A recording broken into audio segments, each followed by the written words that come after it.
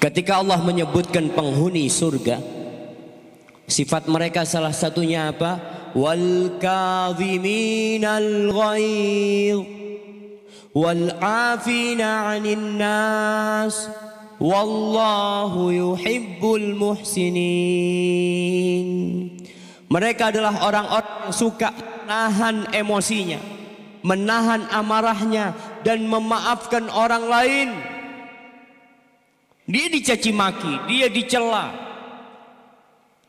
Dia dihina, dibully. Tapi dia menahan emosinya dan memaafkan orang lain.